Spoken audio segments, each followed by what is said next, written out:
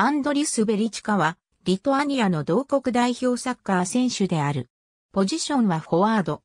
彼のキャリアは FBK カウナスでスタートした。彼はここで150以上の試合に出場し、100以上のゴールを記録した。2000年には A リーガの得点王に上り詰める。途中、FC アンジマ8から FC イルティシュパブロダルへの期限付き移籍もあった。ハーツ2006年の夏、彼はスコティッシュプレミアリーグのハートオブミドロシアン FC に期限付き移籍し、同年9月9日、セントミレーン FC との試合で交代出場し、SPL デビューを果たした。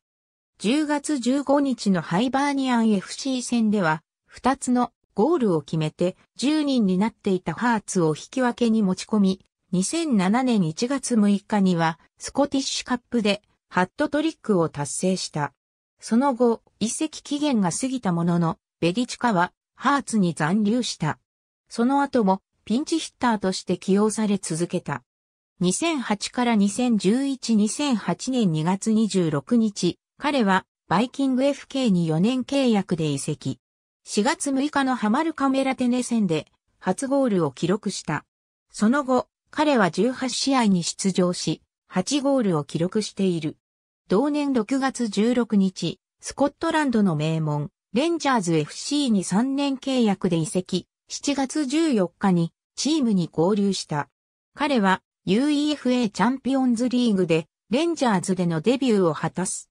相手は古巣 FBK カウナスであった。このチームでの初得点はフォルカーク FC 戦で生まれ、これはこの試合の決勝点になった。次節のハーツ戦では出場はなかったものの、翌週のマザーウェル FC 戦で出場、開始2分でゴールを奪った。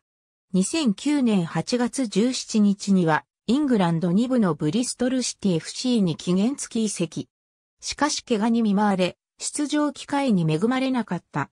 2010年8月31日、アバディーンに FC に期限付き移籍し、SPL に復帰。11月9日にゴールを決めるも、これがアバディーンでの唯一のゴールとなり、2011年1月31日にはアバディーンを自由契約になった。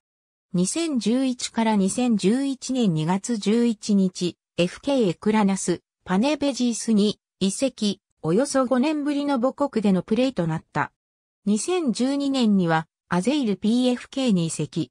1998年8月16日、カウナスで行われたモルドバ戦で初出場。ありがとうございます。